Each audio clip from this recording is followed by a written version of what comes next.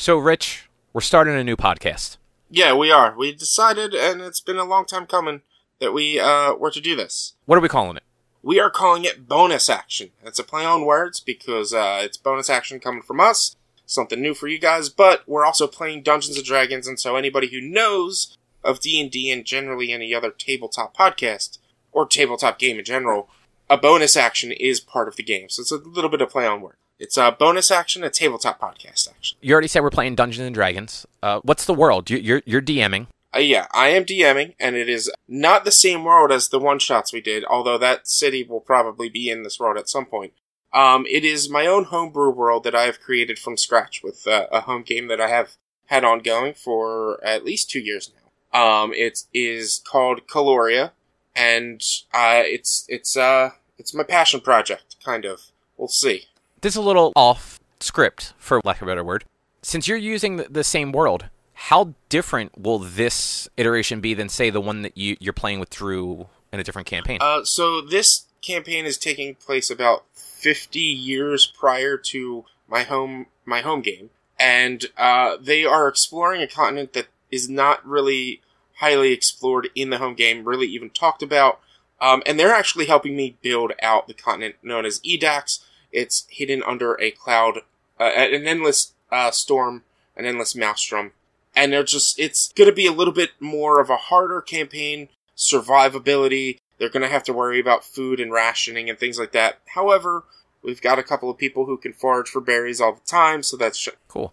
And then, what kind of uh, settings uh, do you think the players will be able to expect early early on in the campaign? So early on is going to be a lot of mountainous and jungle settings. Uh, I am taking an uh, a lot of reference from a bunch of different gaming media and RPGs. And uh, for those of you who play Monster Hunter or know Monster Hunter, some of the early creatures you might recognize those names. But it's primarily jungle. There's going to be all sorts of biomes on this planet or on this continent, but we're going to start a lot in jungle, wastelands, and and mountainous. Now, what can the the listeners anticipate being in store for? Like I said before, a lot of pop culture references, things like Monster Hunter, uh, maybe some uh, occasional Diablo or other RPGs, uh, some just silly antics with the uh, wild cast of characters that we have. For instance, we have a halfling, I believe he is, who wants to be a dwarf. So that's fun. And some serious playstyle that uh, I've told the group make sure you're having fun, but make sure it's fun to listen to. And now, what rule set are you using? We are using uh, fifth edition Dungeons and Dragons. That that is the edition I started with. That's the edition I know the best. I'm allowing them to use all rule sets that are available, and if they come up with an unearthed arcana that I don't quite know, I need to read through it, make sure it is fairly balanced. Uh, we did for stat rolls. We did. Um, I do four d six, seven six times like the stats, and they could choose to re-roll one of them at the end, but they have to take the new roll. So if they choose to re-roll a 10 and roll an 8, they have to take that 8 instead of that 10.